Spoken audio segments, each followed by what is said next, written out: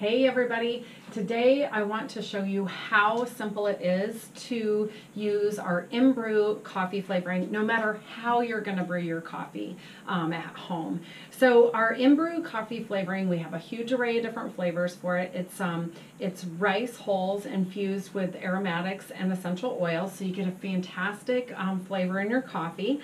Um, so um, all you're going to do is inside the jar here, there is a tiny little scoop. It's the cutest little scoop ever. Okay, we're going to use just one scoop of Inbru for every six ounces of water that you're using to brew your coffee. So for instance, on our Keurig here, we're just going to do a single cup here. This one is going to be about um, six, um, six ounces. So I'm just going to put one scoop right on top of my coffee grounds in my little filter for my Keurig. I can close that up and I'm ready, ready to brew my coffee, my flavored coffee.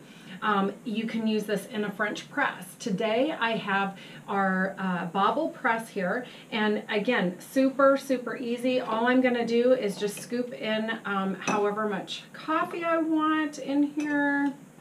Um, this one happens to be about 14 ounces, so I'm going to use two scoops of flavoring. Now, if you like a little, little more flavor, add, add, add a little more. If you want to mix your flavors, you can certainly do that too. Use one scoop of vanilla, one scoop of caramel.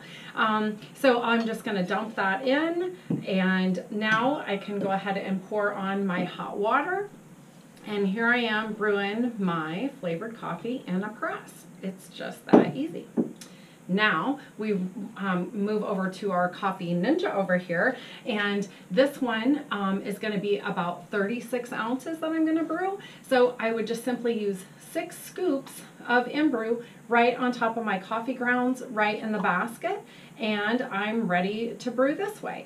So it's so, so simple um, to flavor your coffee. You've got, you can get a whole array of different flavors. You've got that spice rack for your coffee at home, no matter if you've got a Keurig, a French press, or you've got just a regular home coffee drip brewer of any kind, you can have delicious flavored coffee. Of course, you'll want to use fresh roasted cabin coffee if you really want the best, but honestly, you can use the Inbru on any coffee that you would like.